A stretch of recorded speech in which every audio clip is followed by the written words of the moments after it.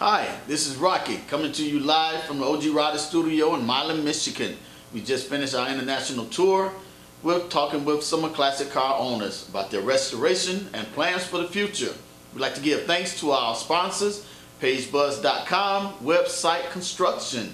Take a look at our clip. From OG Riders, we're just doing some videos of the cars Okay. through the summer. All right. And uh, what's your name? Ray, Ray? Okay. Yep. You want to tell us about what you have here? That's a 1965 AC Cobra. It's a replica. Uh, I built it. Took a couple of years, but I built it. Okay. And uh, it's an exact replica of the way they were back in the day. It looks good. Looks Thank good. Drive it often? I drive it all the time till snow flies. Wow, that's great. Yeah. That's great. Love to hear that. Yeah, I enjoy it. I really do.